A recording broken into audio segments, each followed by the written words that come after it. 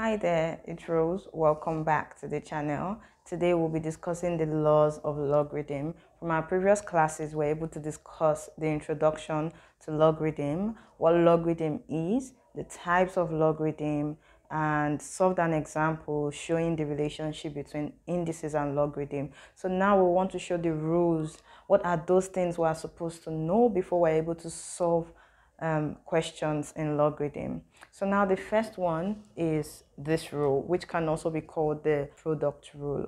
Given the log to the same base of numbers, when there's an addition sign, what do you do? You pick the common log, one of it, and then you multiply together. Let's give an example so you'd understand. It says when you have the same base, you pick one of it and then you multiply because of the addition sign. So now you have log 2. 4 times 8 is 32.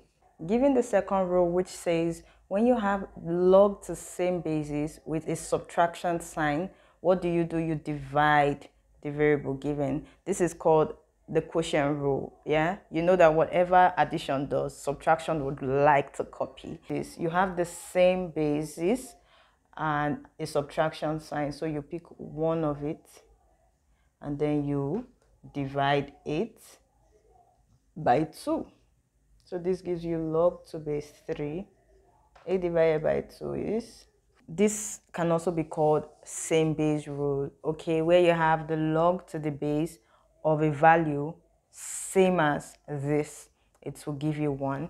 For example, you just know it's 1 because you have same numbers or same values given. So for our fourth rule, we have this condition that says the log to a value of 1 is 0.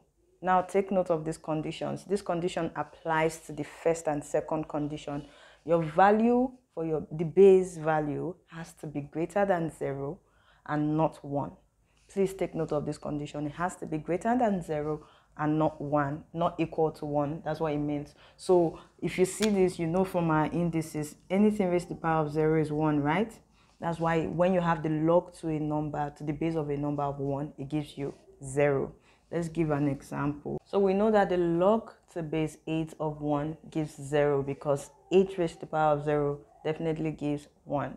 This rule is trying to let us know that when you have the log to the base of any value, the value has to be greater than 0 and not equal to 1, yeah? So we have the next rule, which is this one. It says whenever you have the base to a value and a power, what happens?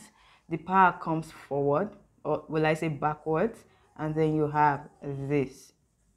But please take note of this condition. It applies everywhere. The, the, it applies in almost all the rules. This base has to be greater than 0 and not equal to 1, right? And this cannot be 0, okay? If it's 0, obviously you know this becomes 1 because anything with the power of 0 is 1. Given something like this, right? The power moves and then you have this. Do you see? Then you can further simplify. Of course, we know this one is 2 raised to the power of 2, right? It still comes forward. 3 times 2, 6.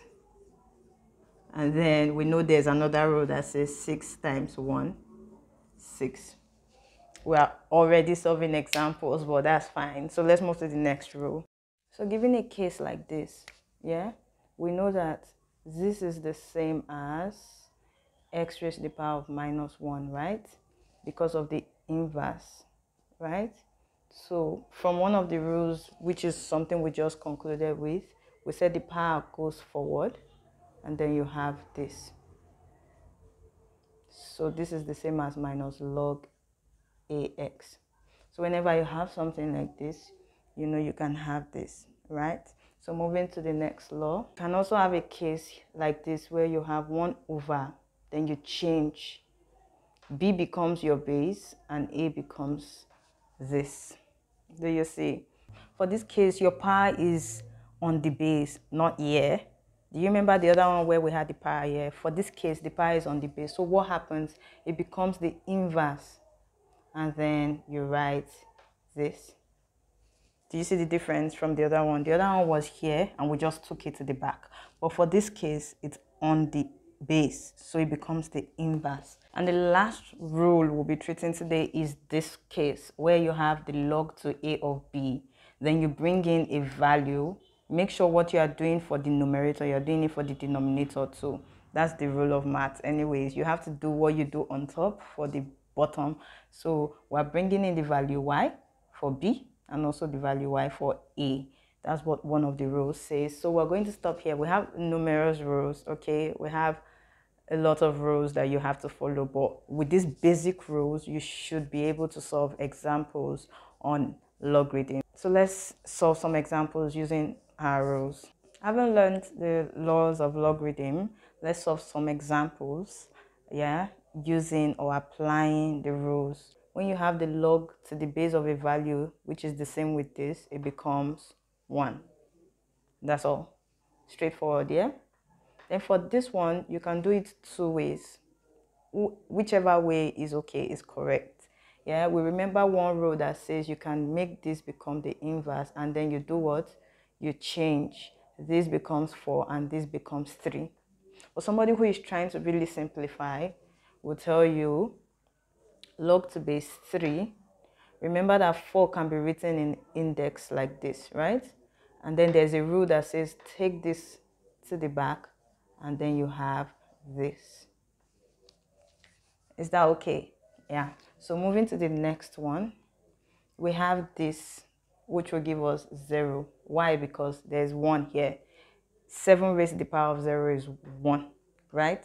So log to the base of a value, which has to be greater than 0 and not equal to 1, of 1 would give 0. I hope that made sense. I hope you understood that.